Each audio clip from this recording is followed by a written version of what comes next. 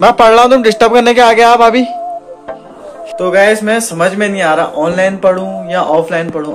Hello guys good morning तो guys उठते ही अच्छा काम कर लेते हैं, पहले अपना बिस्तर उठा लेते हैं। ये उठाना ही बहुत ज़रूरी है।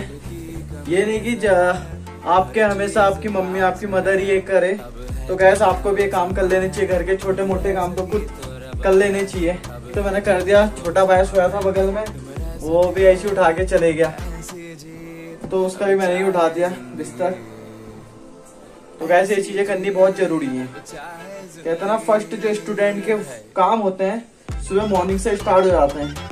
कि तुम किस तरह से यहाँ पर अपने घर में, किस तरह से तुम सफ़ाई कर रहे हो, यही मॉर्निंग का काम है। अगर तुम ये नहीं कर रहे हो तो तुम सबसे पीछे रह रहे हो एक दिन। तो गैस बिस्तर भी हमने उठा दिया है। अब हम करते हैं मॉर्निंग में पढ़ाई। ऑनलाइन पढ़ने के लिए खूब ज़्यादा मेहनत करनी पड़ रही है। और ऑफलाइन तो बुक से भी हो जाता है काम। तो गैस अब दूध लेने के लिए जाना पड़ रहा है। ऑफलाइन में इसी तरह से होता है ना।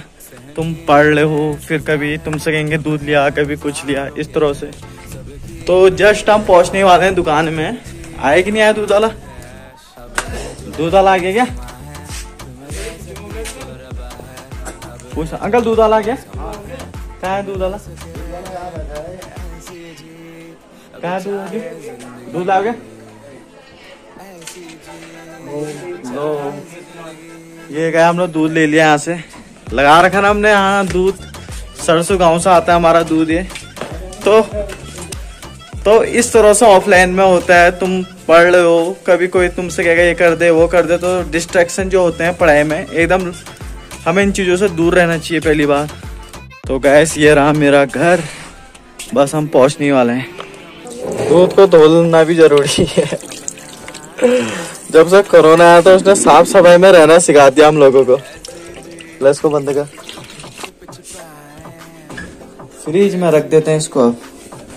मैं फ्रिज में रख दिया है तो गैस बारिश होनी स्टार्ट हो चुकी है अल्मोड़े में। अचानक क्योंकि बरसात स्टार्ट हो चुकी है ना तो बरसात होती है तो ऑटोमेटिक बारिश आना ही है। तो गैस मैं आपको बताना चाहता हूँ ऑनलाइन पढ़ूँ या ऑफलाइन मैं सुबह से ही कंफ्यूजन में हूँ। क्योंकि ऑनलाइन में एक तो इसका अगर मैं फ़ायदा बताऊँ ऑनलाइन में एक तो हमारा टाइम सेव होता है, दूसरी चीज़ फ़ीस कम होती है, और थर्ड चीज़ जो होती है, उसमें कंपटीशन तो होता है बट इसमें जो हमारा कंटेंट है, वो हमें टाइम टू टाइम मिल जाता है।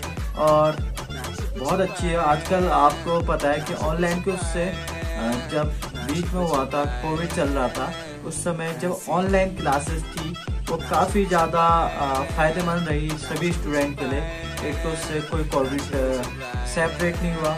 कोविड फैला। मम्मी ने कपड़े सुखाए थे, थोड़े भीग गए वो बारिश से।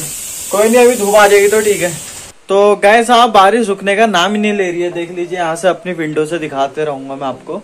बारिश होते रहती है अगर थोड़ा रुकती है फिर मैं थोड़ा मार्केट भी घूम के आऊँगा और आपको दिखाता हूँ आज मार्केट किस तरह तो से लगती है हमारी। तो गैस अभी तक मैं ऑनलाइन पढ़ रहा था अब मैं पढ़ रहा हूँ ऑफलाइन बुक क्योंकि ऑफलाइन बुक पढ़ने के भी अपने में एक बहुत बड़ा आनंद है।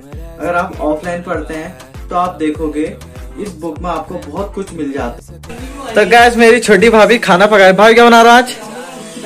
दाल बना रहा हो? मिक्स है कौन सी वाली है? मिक्स दाल है वेरी गुड अभी आता हूँ मैं आधे घंटे बाद खाने के लिए है? तो गैस मैं आपको बताता हूँ ऑनलाइन और ऑफलाइन जो टीचिंग होती है उसमें क्या डिफरेंस होता है? पहले अगर हम बात करते हैं ऑनलाइन टीचिंग की तो ऑनलाइन टीचिंग में एक तो आपका जो यूनिफॉर्म है उसका खर्चा बच जाता है। दूसरा आपका जैसे ट्रैफ़िक आप जा रहे हो आ, किसी बस से किसी वैन से और तो उसका भी काफ़ी ज़्यादा खर्चा बच जाता है। और वही बात करें हम ऑफलाइन की तो ऑफलाइन में तो थोड़ा एक्सपेंसिव हो जाती है। बट मेन चीज़ होता है कि आप उस वहाँ टीचर आपको जस्ट मुँह के सामने आ सकता है बट ऑनलाइन में। ये जो तार है उसमें इतने अच्छे अच्छे कबूतर बैठे हुए हैं। ये देखो कभी कभी आप मिलता है मौका और साथ में बारिश भी हो रही है। चलो चल ये देखो उड़ रहे हैं। गैस ये देख लीजिए यहाँ मैंने बुके रखी हैं। और ये मेरी छोटी मिनी लाइब्रेरी भी है और ये है मेरा व्हाइट बोर्ड इसी से मैं ऑनलाइन पढ़ा रहा था।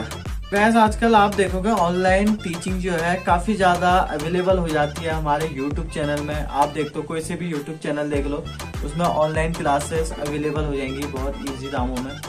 तो गैस मैं समझ में नहीं आ रहा ऑनलाइन पढ़ूं या ऑफलाइन पढ़ूं। अगर ऑनलाइन पढ़ता हूँ यूट्यूब में तो आजकल आप देखो यूट्यूब में करीबन लाखों टीचर पढ़े हैं।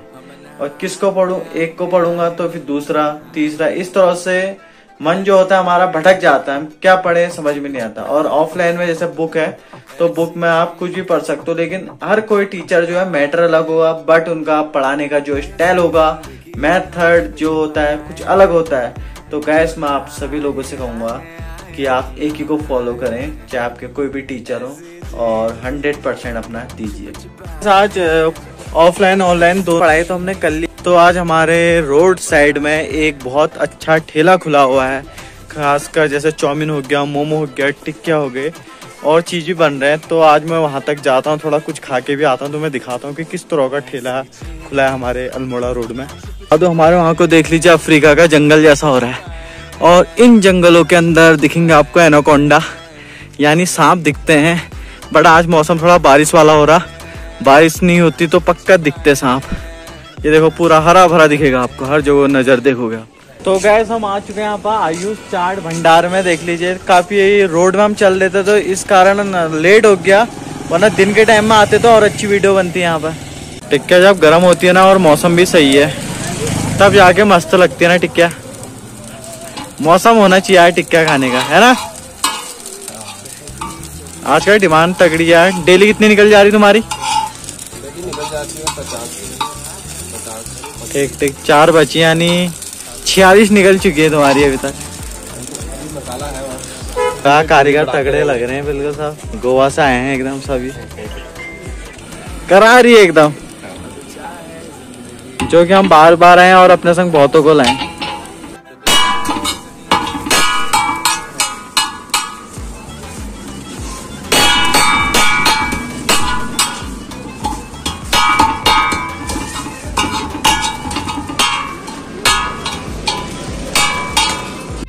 वेट करते हैं भैया, बा, तैयारी हो रही है। कितना लगेगा टाइम हो यार? हो गया लाओ दे दो यार। बारिश से बचने का ने बहुत सा यहाँ पर अरेंजमेंट कर रखा देखो। धारण रोड में आयुष चाट भंडार। बाबा सरस्वती होटल के सामने मिल गया। ये दिखा देता हूँ तो गैस फाइनली मैं घर पहुँच चुका हूँ। जाते आते मैं चैनल को सब्सक्राइब और शेयर ज़रूर करना। मिलते हैं नेक्स्ट ब्लॉग में। तब तक के लिए थैंक यू सो मच